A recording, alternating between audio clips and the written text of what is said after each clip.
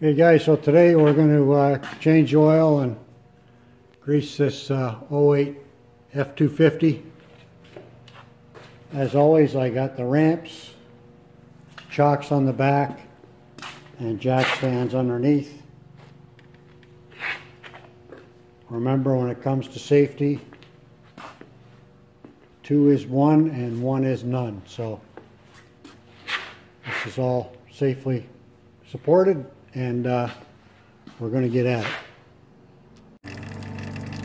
Okay, so it's a, it's a 16 millimeter plug. And for this truck, there's the part number for us Canadian Tire guys. That's the part number for the oil filter. And it's an OE plus. Okay, so there we are on. Um, course, my pet peeve here today, I made a freaking mess. So I'm going to have to clean that up. And now I'm going to have to go on a hunt for uh, the grease nipples on this thing. And get this front end and check the rear end too. And grease everything I can find. Um, so with these 5.4 liters, everything I read and I've seen about them, the key is, is you've got to change this oil like every 3,000 miles. Don't let it go because it'll gum up and it'll cause you a lot of headache. So just change oil for all the time it takes. Get her done. Okay, so there's the first one. One on to be one on each side. So we'll get those greased up. Okay, so there's another one there. Not sure if you can see it or not.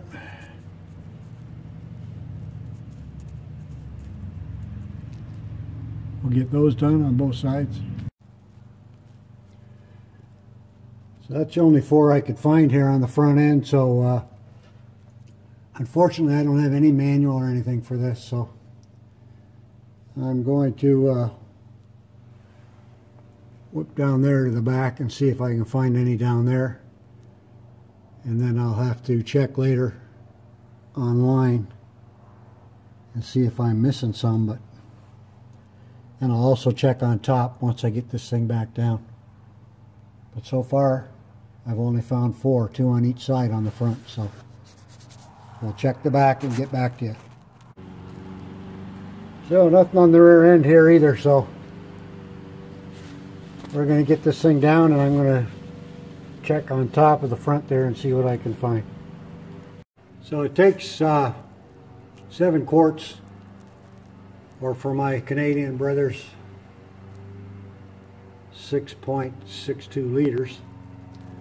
Uh, you'll note there it says 5W20. This truck has 355,000 on it. And my information is that when it gets this high, it's 10W30 time, so that's what I'm going to go with this time and see how well it runs, and uh, we'll go from there. So we'll get the fluid in and get this thing wrapped up.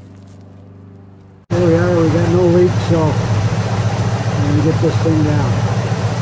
Okay, so we're all done with the F-250 for today. We just got to clean up our mess and uh, that's it. And we put on some new wiper blades and I also uh, put a new washer sprayer on the hood and checked everything over real good, tested our antifreeze, and it's all ready for winter because uh, old man winter's on his way. So